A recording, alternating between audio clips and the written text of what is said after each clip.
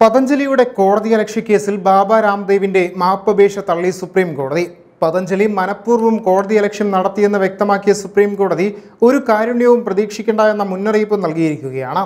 ഒരേപോലെ പല മാപ്പപേക്ഷ നൽകിയാൽ കോടതിയെ ബോധ്യപ്പെടുത്താമെന്ന് കരുതുന്നുണ്ടോ എന്ന് കോടതി ചോദിച്ചു. പതഞ്ജലിയുടെ കാര്യത്തിൽ ഉത്തരാഖണ്ഡ് സർക്കാർ മനഃപൂർവമായ വീഴ്ച വരുത്തിയെന്ന് സുപ്രീം കോടതി വ്യക്തമാക്കി. കടുത്ത നടപടിയിലേക്ക് പോകരുതെന്ന് അഭ്യർത്ഥിച്ച ഉത്തരാഖണ്ഡ് സർക്കാർ പതഞ്ജലിക്കെതിരെ നടപടിയെടുക്കാമെന്ന് സുപ്രീം കോടതിയിൽ ഉറപ്പു നൽകി. കേസ് വീണ്ടും പതിനാറിന് പരിഗണിക്കും. അന്ന് രാംദേവ് ഉൾപ്പെടെയുള്ളവർ വീണ്ടും നേരിട്ട് ഹാജരാകണം. കേസ് പരിഗണിച്ചപ്പോൾ പതഞ്ജലിക്കെതിരെ കേന്ദ്ര സർക്കാർ സുപ്രീം കോടതിയിൽ സത്യവാങ്മൂലം നൽകിയിരുന്നു. അലോപ്പതി മരുന്നുകൾക്കെതിരായി പരസ്യങ്ങൾ അംഗീകരിക്കാനാവില്ല എന്നായിരുന്നു ആയുഷ് മന്ത്രാലയം സുപ്രീം കോടതിയിൽ നൽകിയ സത്യവാങ്മൂലത്തിൽ വ്യക്തമാക്കിയത്.